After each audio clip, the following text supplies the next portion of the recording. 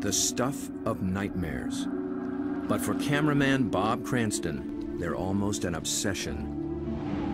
He dives into the depths of the open ocean to encounter a creature called the Humboldt squid. His fascination with these beasts will send him into distant waters, into the lives of a strange and alien clan.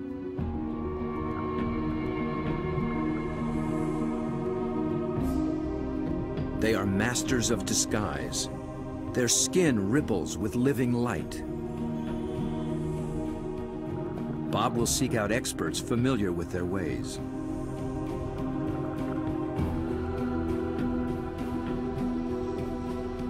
And he takes up a dangerous quest to connect with the fearsome Humboldt down in the dark.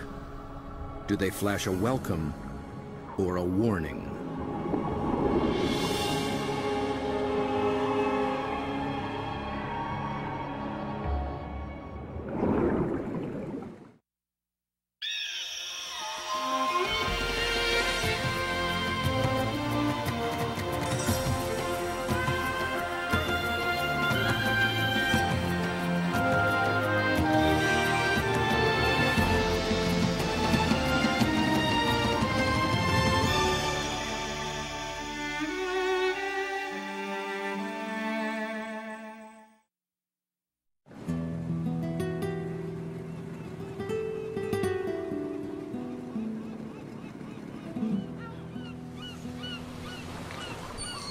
Deep in the waters of the Sea of Cortez, far below the sunlit surface, lurks a creature the locals call the Red Devil.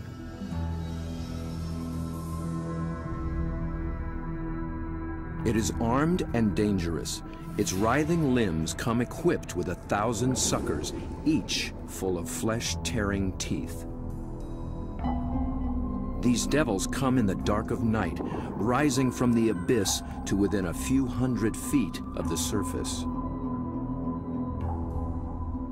They are large, aggressive, in-your-face squid called the Humboldt.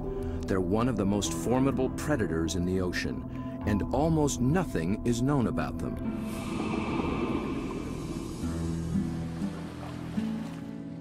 To cameraman Bob Cranston, the Humboldt have become an irresistible challenge. He's one of the few who've descended into their midst at depths where others fear to follow. But his last encounter was a close call. It was three years ago in these very waters. Bob's goal was to film these beasts up close in the open ocean. The usual white filming lights create a circle of light that acts like a wall, keeping the squid at bay. So Bob descended with red lights that diffuse almost immediately.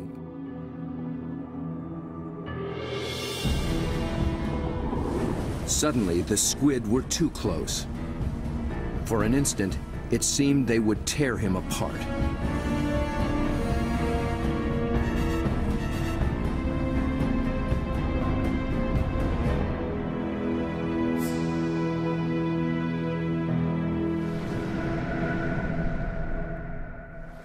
It was an intense encounter that only fueled his fascination for the Humboldt.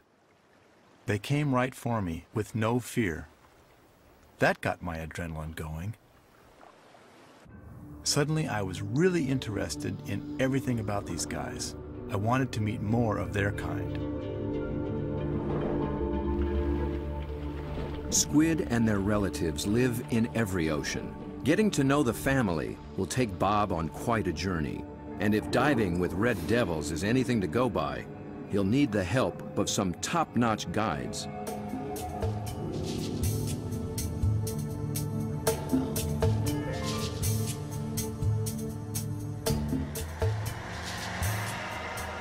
Bob begins his quest far to the north in the dark, cold waters of the Pacific Northwest.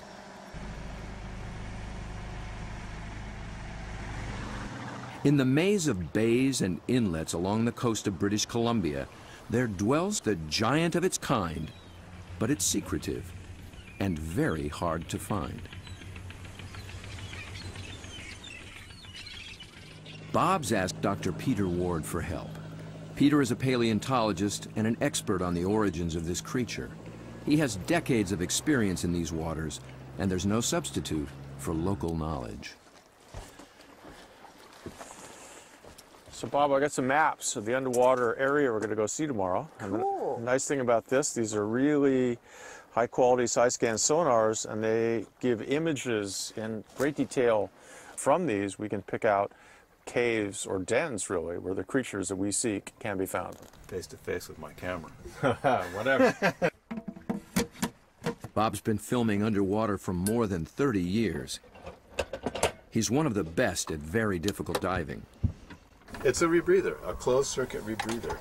The CO carbon dioxide is pulled out, add a little oxygen, it comes back and you breathe it. Same as the guys who walked on the moon. It's really cool. I can stay down there with the creatures and film them for as long as I can stand the cold. The water registers 47 degrees. Without a dry suit, a diver could slip into unconsciousness from the cold in just half an hour. Waterproof zipper. Same zipper they use in spacesuits. Only in a spacesuit, I think they pressurize it. In this suit, you get vacuum packed. All these fancy lights. I think that one means low. Getting a little warm. Gotta get in the water soon.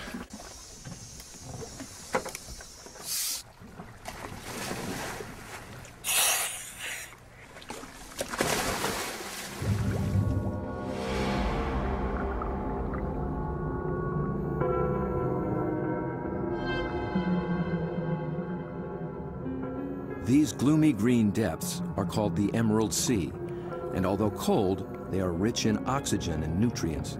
The combination allows creatures to reach enormous size. Down at 60 feet, Bob and Peter pick up a trail of broken and discarded shells. A dead giveaway.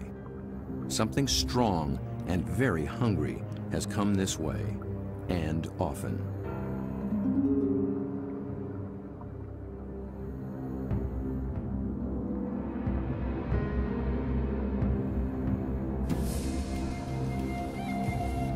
Should show more caution. It's up against a devious and determined predator.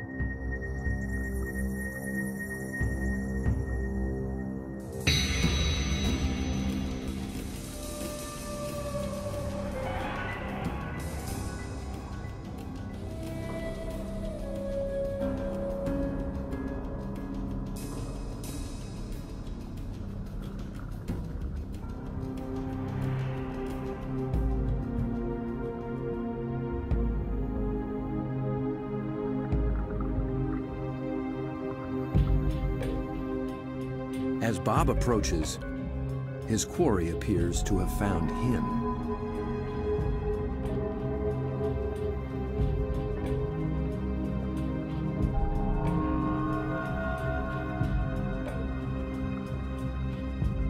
A giant Pacific octopus.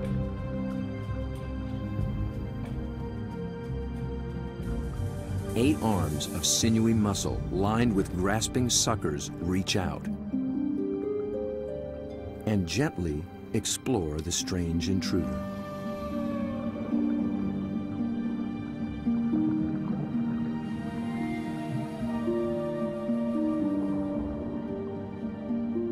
A giant can reach 20 feet from arm tip to arm tip and weigh in at 200 pounds. It's the largest octopus in the great clan called the cephalopods, the group that unites the octopus and squid. It's an ancient tribe, the first large predators in the sea. To this curious female, we're a brand new species.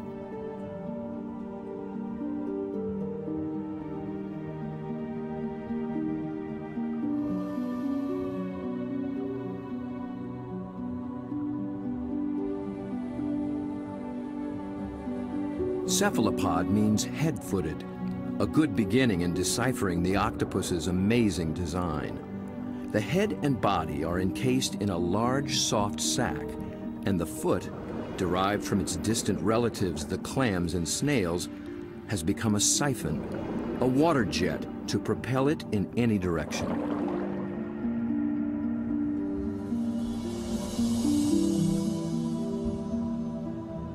Long time ago, its ancestors were a shell, but the octopus has given that up. Yet for creatures with such tasty flesh, the lack of protection presents a problem. The cephalopod solution? The most extraordinary skin in the animal kingdom. In an instant, it can change color, pattern, and texture. And with no bones to confine its shape, the creature can virtually disappear.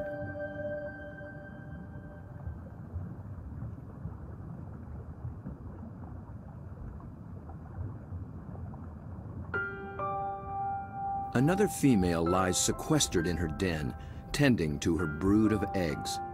She lays up to a hundred thousand just once in her life. When they hatch, she will die. These clever, curious creatures won't live long at all. Their entire lifespan is no more than three or four years.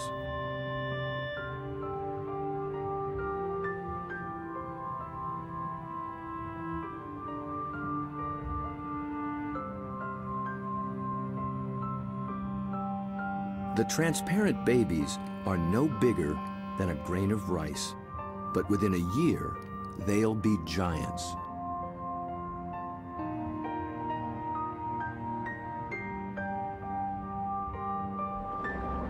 While the lives of these complex beings are all too brief, their line reaches back 500 million years, long before sharks began swimming the seas.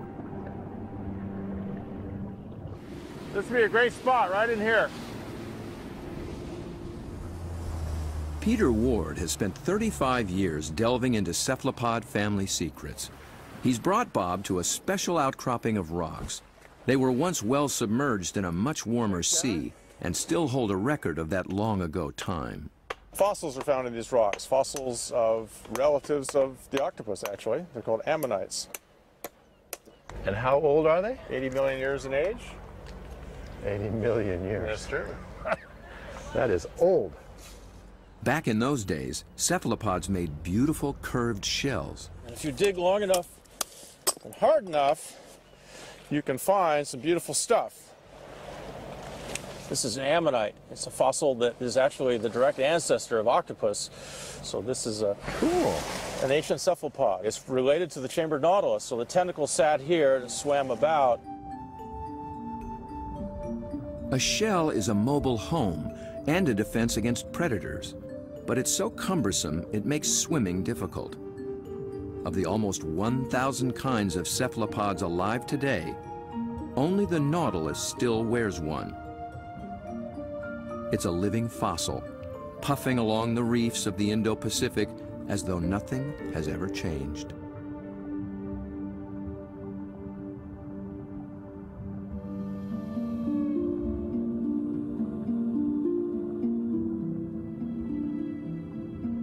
Bob returns for one last dive with the octopus.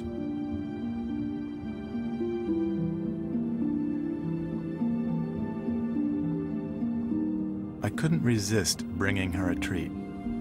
All cephalopods are carnivores, and they love crabs.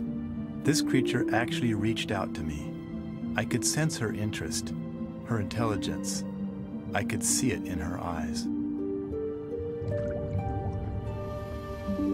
There's something about the eyes of these animals just draw human observers in, and especially with the octopus and the cuttlefish, they definitely make visual eye contact with you and maintain it.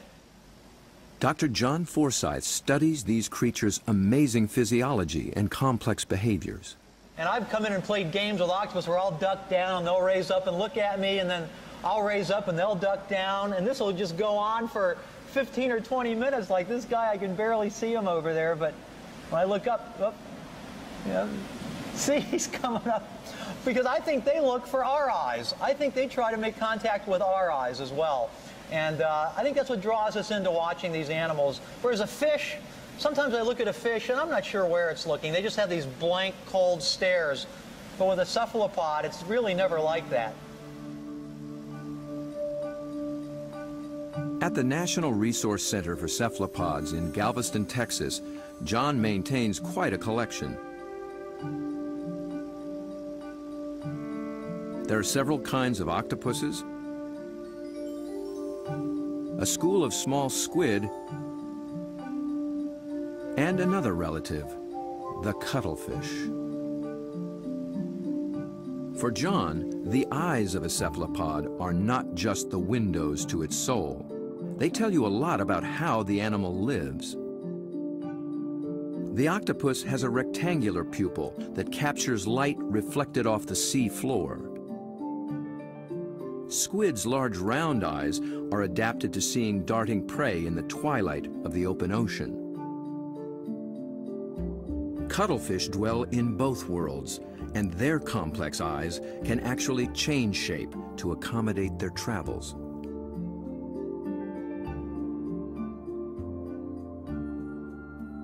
But it's not in their eerie eyes that cephalopods reveal their inner feelings. It's in their remarkable skin. Millions of tiny sacs of pigment, called chromatophores, dot their skin, each controlled by minute muscles. With a little flexing, a cephalopod can flash with rippling bands of color.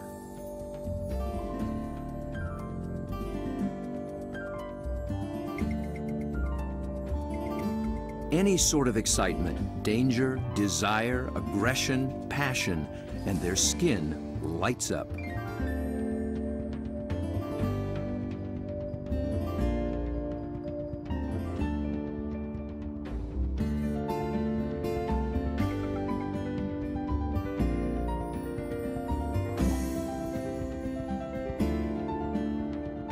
For creatures with no vocal abilities at all, this is the way they communicate, in a language of light and color.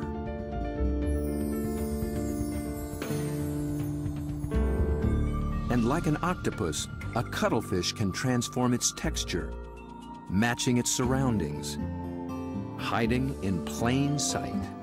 Given their camouflage capabilities, it's no wonder we're still learning just how many kinds there are.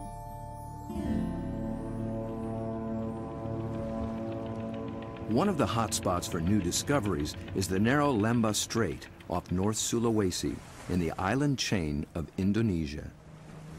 It's a pretty scenic spot. They put out for this joint, isn't it? I mean, it's magical. John and Bob have come here looking for new species of cephalopods.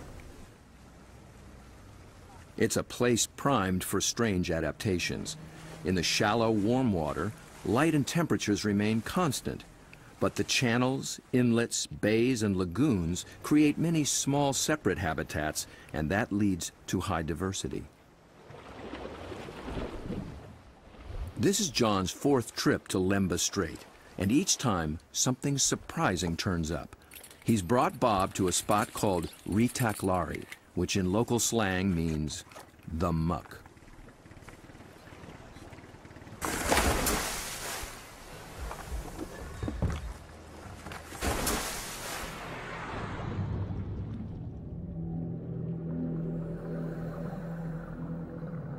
First glance, it's a vast, flat disappointment.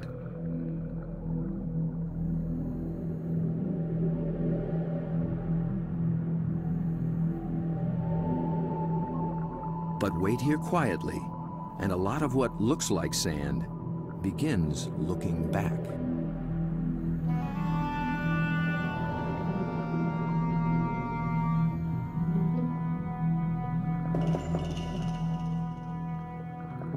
The still of the muck to the roaring straits, a lot of effort goes into not standing out. Drifting reeds are actually floating razorfish. And the end of a few branches turn into ornate ghost pipefish.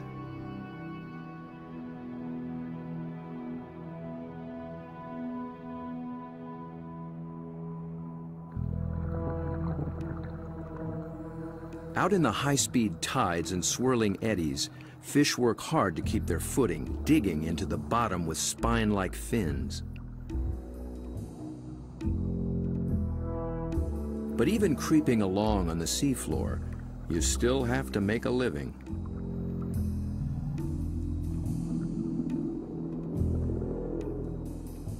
A harmless-looking weed rolling in the current is a hairy frogfish trolling for a meal.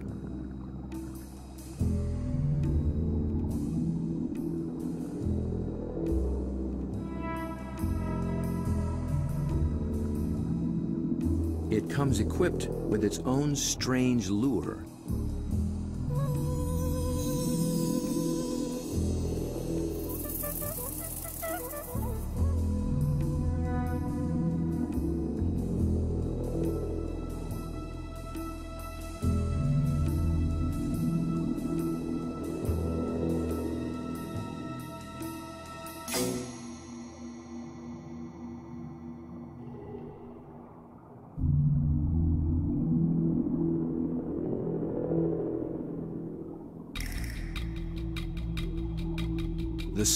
Offers the best retreat, but the crab has already been spotted.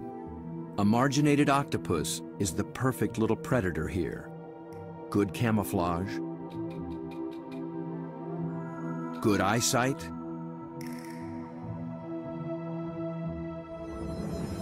good grip.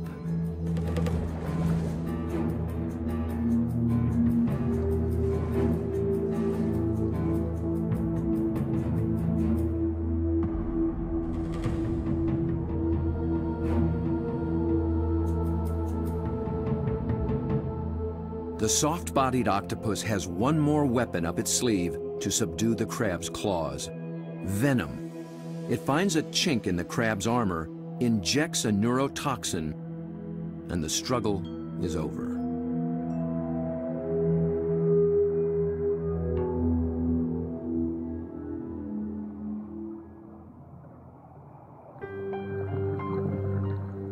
In such an open setting, the trick for every creature is to find some place to hide.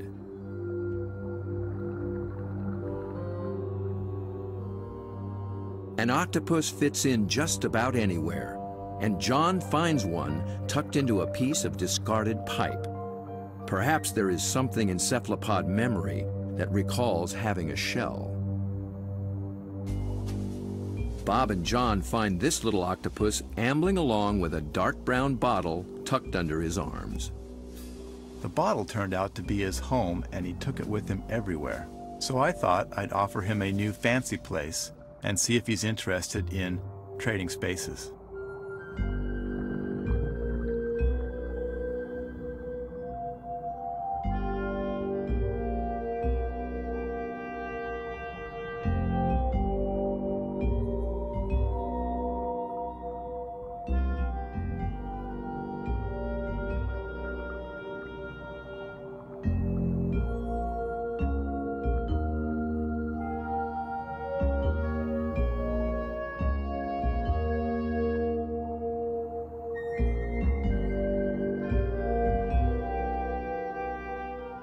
Began to worry he might get confused by this clear glass and wouldn't remember how to get back out. But after a few minutes, he slipped through the opening and went straight back to his old brown bottle. He'd made his choice. I think the clear glass was a little too bright, and besides, there's no place like home, especially when you can take it with you.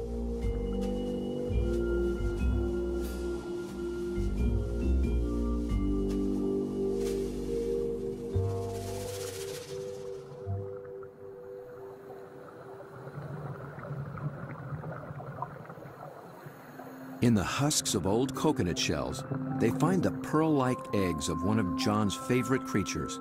It's a tiny cuttlefish that's seldom seen after it hatches. It remains so small and well camouflaged that it takes great practice to find it.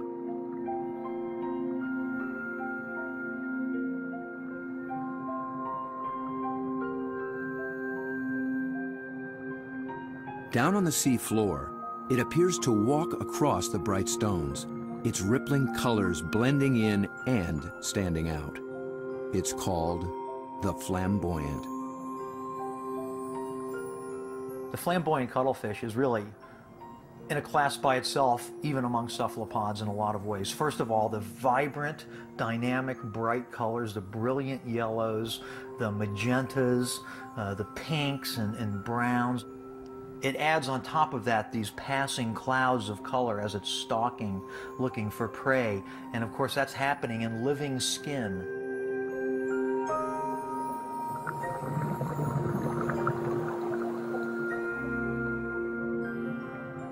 A lot of these animals are surprisingly bold. The flamboyant actually seems to like being under the lights. It begins hunting as soon as we start filming.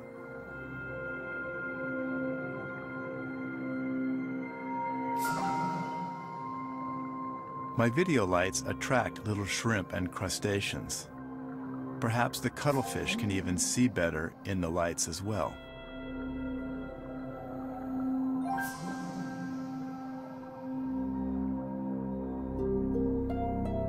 It's only when John sticks out an enormous hand that we see the scale of this little hunter. Next to a six-foot Humboldt and a giant octopus, it's hard to believe it's one of the family. Not far away, a small octopus has been eyeing the scene. John reaches out for a better look. Every time I touch one of these animals, I'm not gripping it or holding it. My intention is never to frighten the animal in any way. However, I am trying to keep it close to where I can get a good look, but at the same time, the animal knows at any moment it, it can get away if it wants to.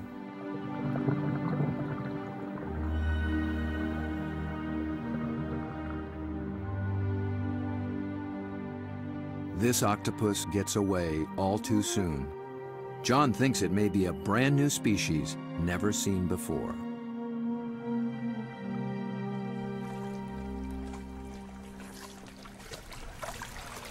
I don't know, Bob. I'm not sure what that is, but it could be a new one. I think it could be a new species. I wasn't expecting to see that. It's not something you've seen before, huh? No, no, I'm not sure what that would be. It's a cool little critter. Oh, wild.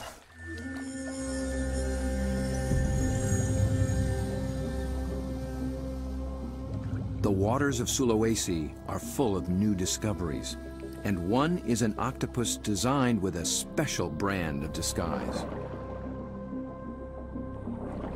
It lives in the same waters as the banded sea snake, whose bold stripes announce its potent venom.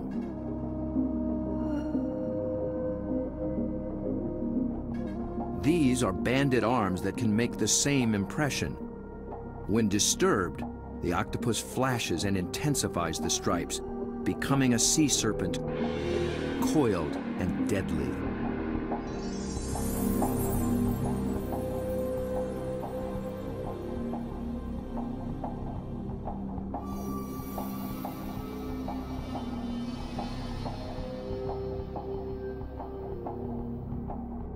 The creature has not yet been named by science, but it is known to be a fraud. It's a shy nocturnal octopus, and unlike the snake, its venom is virtually harmless. Its stripes are simply a ruse to intimidate would-be predators.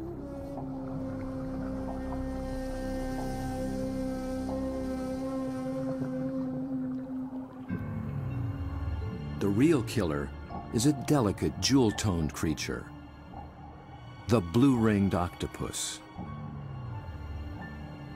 The flashing blue neon is no false alarm. Its poison can immobilize every muscle in the human body. There is no antidote. But all it's really after is a crab.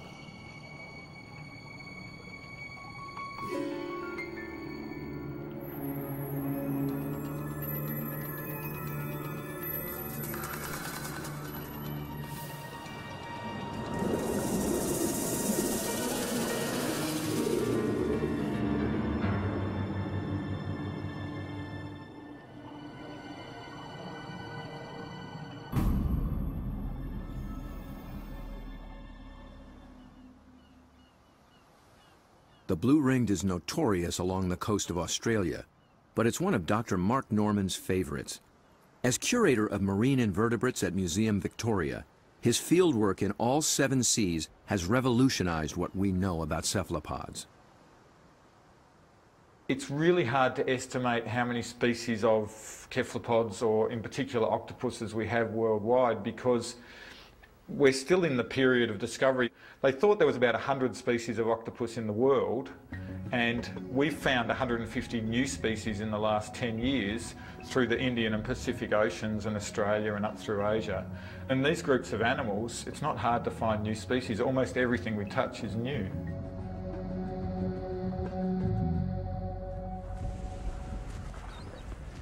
Bob wants to get close to the blue ring in the wild. So Mark, this is a shortcut to the beach? Yep, it's a great place to collect crabs.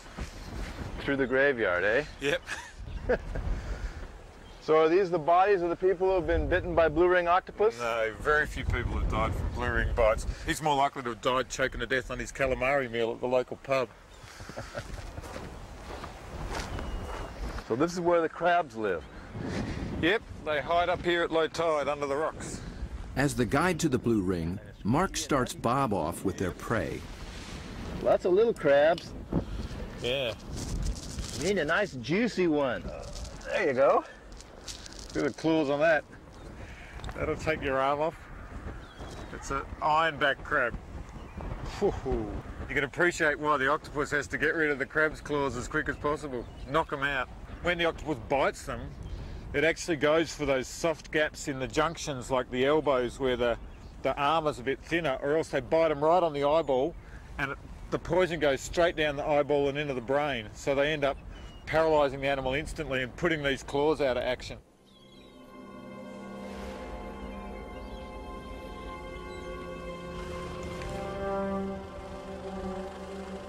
The dive begins after dark, when blue rings are most active. And it's not off some wild remote beach. The deadly blue ring lives just beneath the town pier.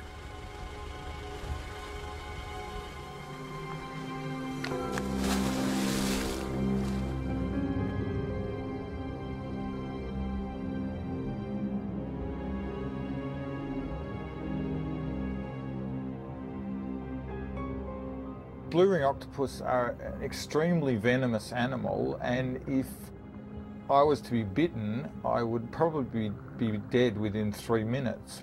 Your body would start stiffening up and you'd lose the capacity to breathe, you'd lose the capacity to wave or walk or run away, you'd run out of oxygen and you'd suffocate.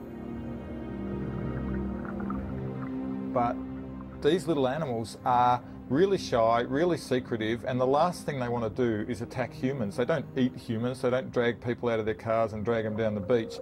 They just feed on crabs. But tonight, not even a crab could catch its attention. This is a male, and he's just found a female. Two wild blue rings are preparing to mate.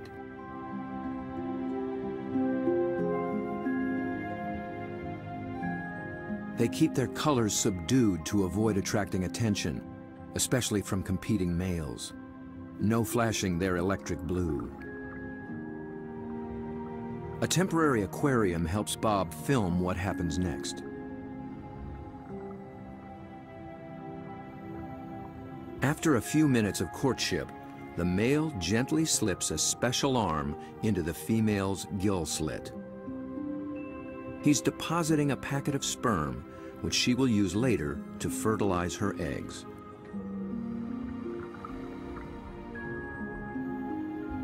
It's the end of their relationship, and most likely the end of his brief life. That was all he needed to accomplish. Just beneath the very same pier is another cephalopod almost never seen in shallow water. New research finds that they too pack a poisonous punch. But their bright little stripes have earned them a harmless nickname, the pajama squid. I think these cephalopods are the closest to the cartoon characters. Their little black and white suits and their little frilly lashes behind their eyes and the yellow on the top of the eyes, they're just straight out of a comic book.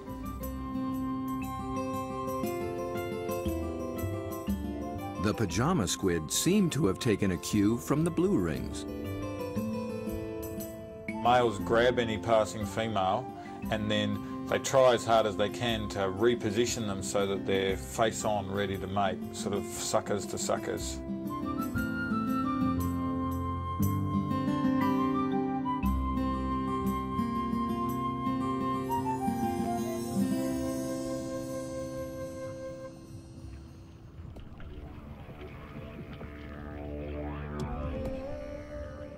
The mating season is also picking up off Australia's southwestern coast. In one small bay, giant cuttlefish have begun to assemble. They leave deep water and enter the shallows once a year for three to four weeks.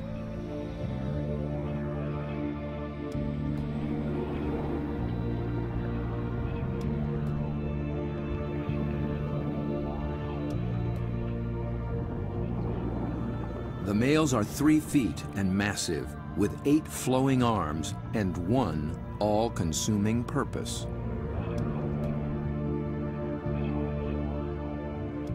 A much smaller female takes refuge in the rocks.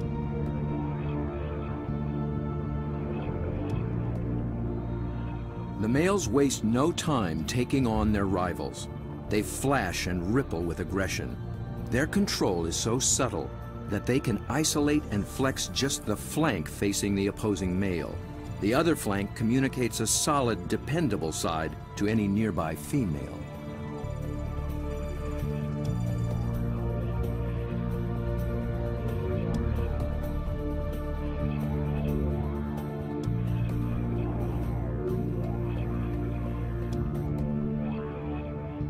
One male has claimed her and takes possession. He'll guard her now, keeping her beneath him until she is ready to lay her eggs. Jules, you around here somewhere?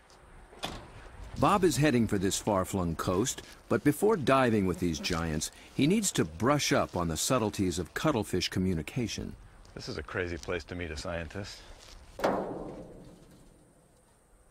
Julian Finn is a leading expert on the intense social dynamics of the cuttlefish. He comes to this junkyard to scrounge up special equipment for an interesting experiment. Hey, Jules. Over here, Bob. Oh, okay. Oh, there you go. Yeah, yeah. It's uh. You into lots old of stuff. cars? Oh yeah, I love them. I got a got a number of old cars and uh, plenty of treasures in this place. Cuttlefish Well, speak a visual kind of place, language, huh? Yeah, and sure. Julian wants in on the conversation. Old cars, but um, also got a few ideas about uh, making something to use on these cuttlefish in Whyalla, trying to get a bit of a different shot. So Looks like junk to me. Meanwhile, the cuttlefish continue to gather.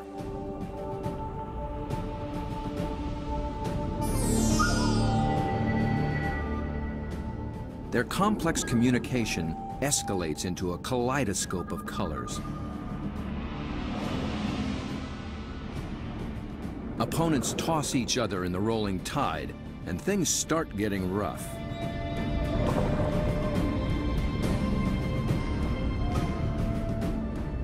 The violence can rip up their all-important skin, sabotaging a male's chance to impress and intimidate.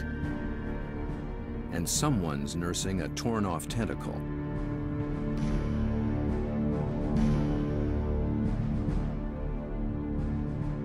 In a temporary standoff, a large male guards his female from two other heavyweights, while a little male, too small to take seriously, hovers on the sidelines.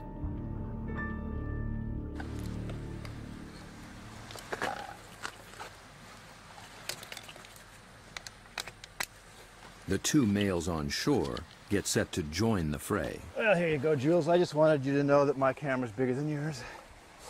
Mine's a bit different than yours, too. Well, yours has a hubcap on the front of it. What I'm hoping to do is film the male's reaction to another male. But instead of having another male there, I'm going to have its reflection.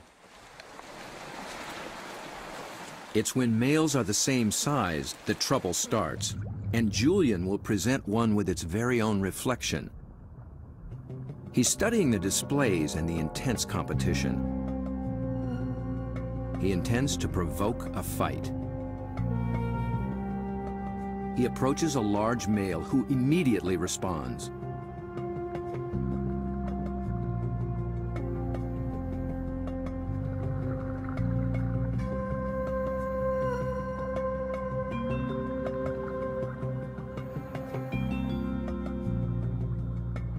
Cuttlefish becomes increasingly absorbed with his own image, but instead of a conflict, the story takes a surprising turn. The small, unimpressive male has sneaked in and begun mating with the unguarded female. He's not signaled, nor flashed, nor dazzled. He simply grabbed the female for his own, making every attempt to look as much like her as possible.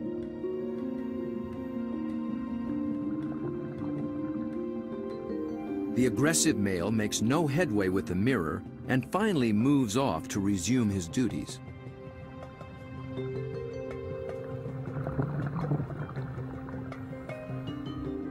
But he's still distracted, still flashing, and doesn't recognize that his female is mating right under his nose.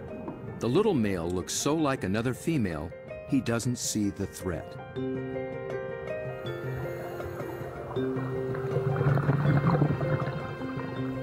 At last, he senses something's wrong and moves in to reclaim his female.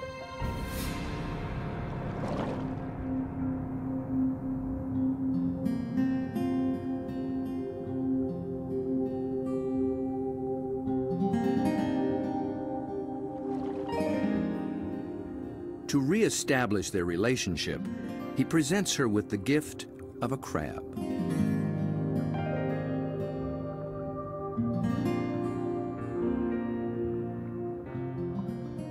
So much going on in cuttlefish society, Julian will be experimenting for a long time to come.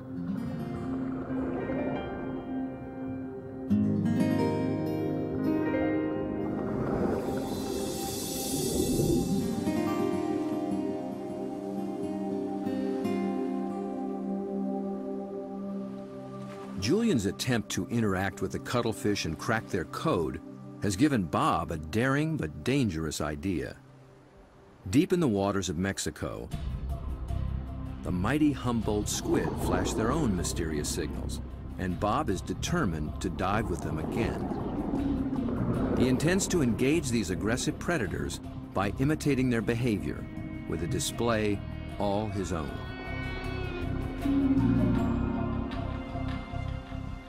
Mark Norman and Julian Finn think he's close to crazy.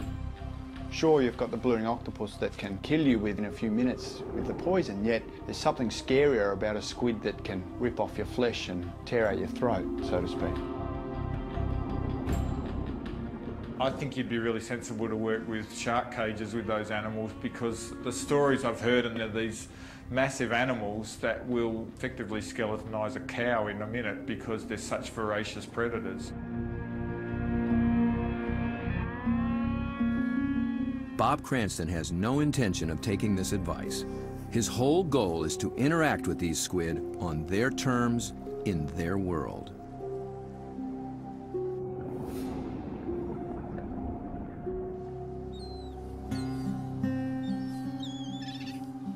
In the small town of Santa Rosalia, on the edge of the Sea of Cortez, being a fisherman takes a certain courage. Lose people you know, every other year. Somebody somebody dies. Uh, I had a friend uh, that uh, they found floating in the ocean uh, uh, last year. Uh-huh. It's lucky they found him because you know they're carnivorous. They'll eat, they'll eat you. I mean, they will eat you. The squid will eat The you. squid will eat you. If you fall into the ocean, they'll get you with their tentacles. You'll drown, and then they'll you know all the rest of them will just eat you.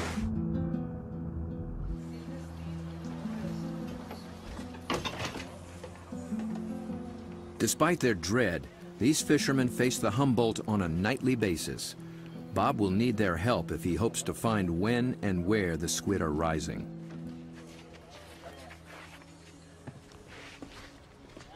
Alberto. When the Humboldt flash on and off, Bob intends to flash right back. Yo no sé. this is a flashlight, big flashlight for squid. Algo raro. We're gonna No estás loco. Estos loco, see?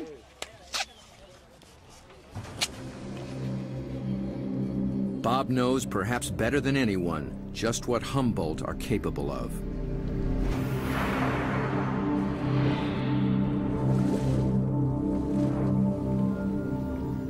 But it's not fear that he feels. It's an intense fascination for such alien creatures in a world so different from our own.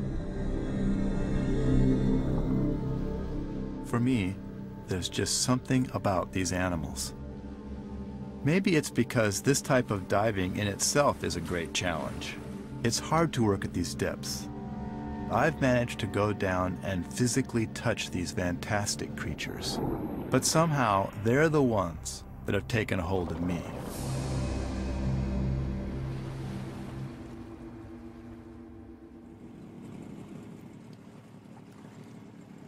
He's 12 miles from shore. Aside from his assistant cameraman, there'll be no backup down below, and no source of help at all topside. There's not so much as a radio on this little boat. These are small boats. It's a big ocean. There's a language barrier between me and the fishermen who think I'm crazy to dive in the water anyway. If I disappear and drift away from this boat, the fishermen will just think the squid ate me and they won't even bother coming to look for me. Yet Bob has confidence in his own experience and in his plan. I've made up this light tube and filled it with strobe lights.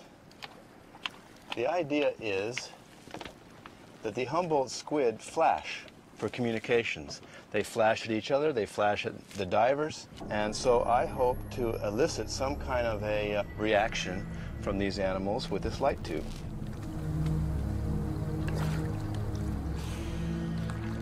Beneath the boat lies a thousand feet of open water and sea monsters.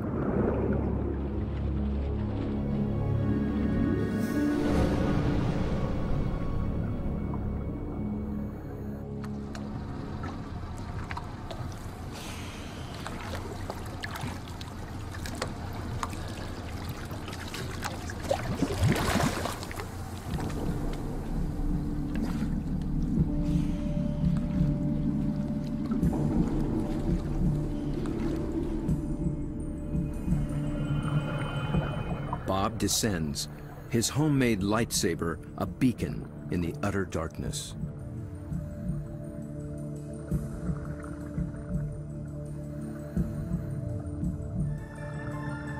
Right away, there's a complete surprise. Mobula rays. They're seldom seen in a school like this. Already the night has taken on unexpected possibilities.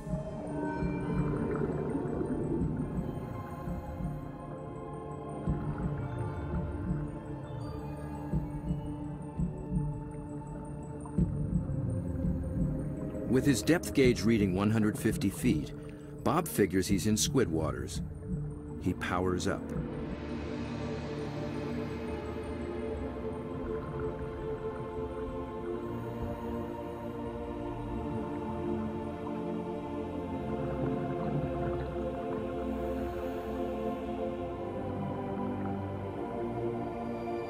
A giant swarm of pink krill mobs the lights. Suddenly, Bob's in the middle of a midnight feeding frenzy.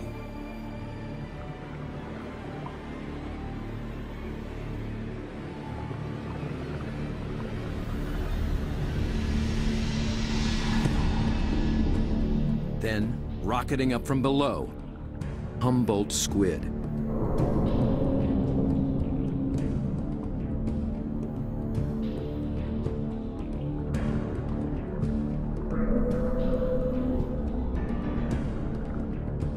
Flashing red and white. Bob tries to get clear of the krill into better visibility. And he's caught the squid's attention.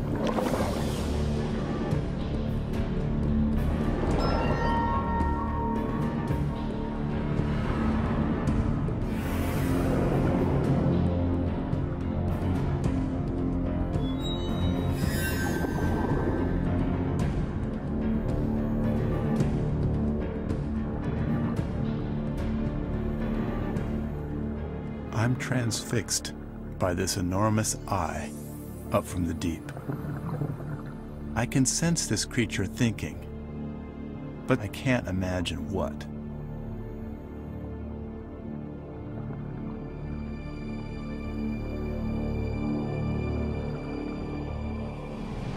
A minute later, contact. The squid grabs hold, testing the light the only way it can.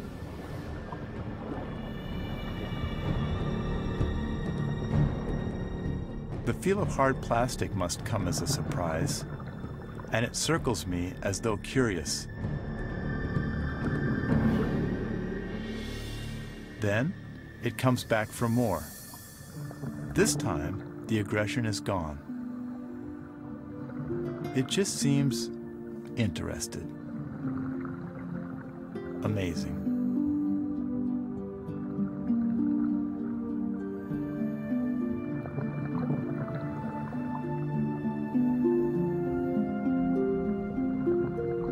Play for a moment.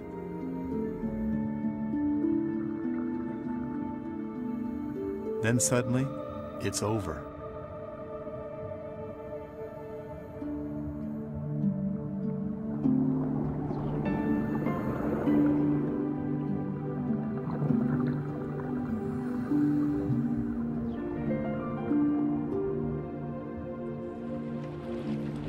The fishermen are relieved just to see me alive. But I climb back in the boat knowing something remarkable has just happened. I danced with the devil down in the deep, and I'm already thinking about the next dive.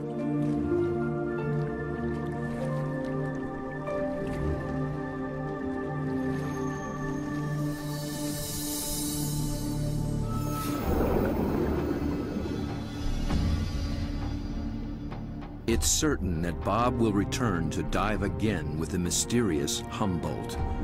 Perhaps with a new strategy on how to make contact. He's just at the beginning of this extraordinary quest.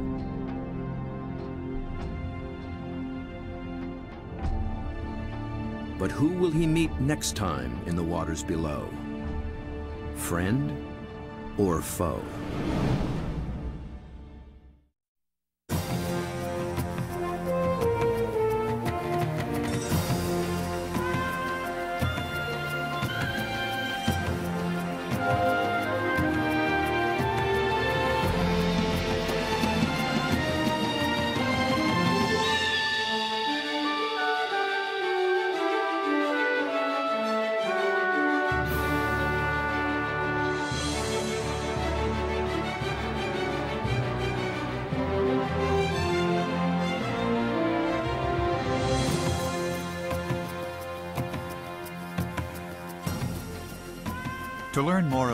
You've seen on this nature program, visit pbs.org.